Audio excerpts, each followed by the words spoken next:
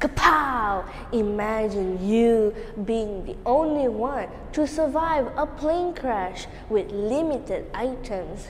Can you survive on a remote, lonely island for almost a month?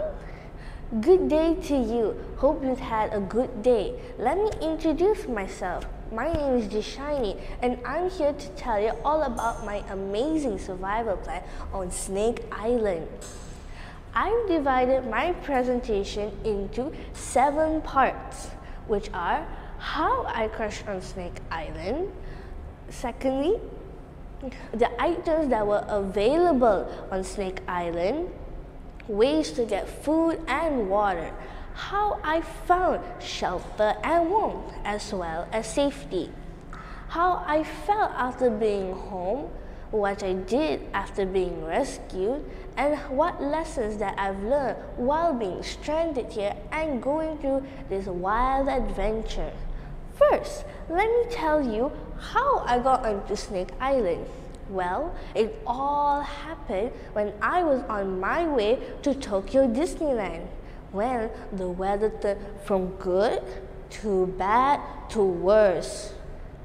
Before you know it, the plane was descending crazily.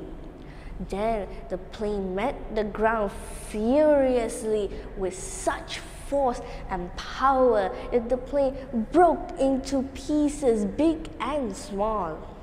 After the impact, I woke up and started to search if anyone survived, but sadly no one did.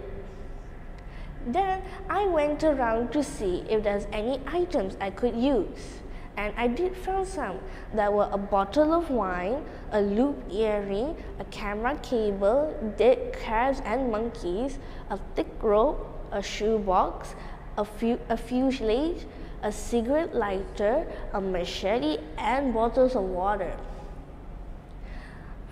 Then I found some coconuts laying around from where I was and I cut it open with the machete as another water source to drink from. For food, I had to eat the crab and monkeys along with the coconut flesh. Then, for shelter, with the, the fuselage, thick rope, and with a sturdy tree, I made myself a shelter that kept me safe from danger. But by evening, I was shivering. So I took the cigarette lighter, the shoebox, and some rocks to, to build a fire that kept me warm.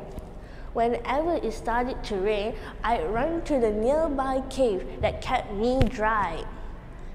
A month later, I suddenly heard helicopters in the air and I started waving my hands frantically around until they lowered the ladder for me to climb. After I got home, I felt happy and safe.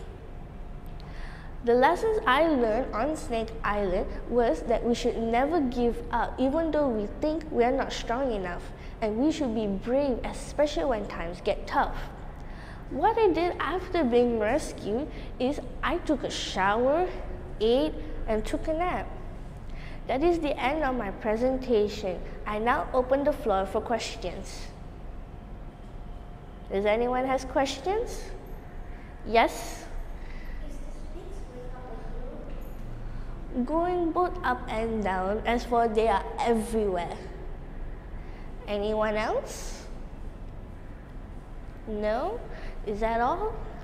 Okay, Thank you so much for listening to my presentation and have a great day.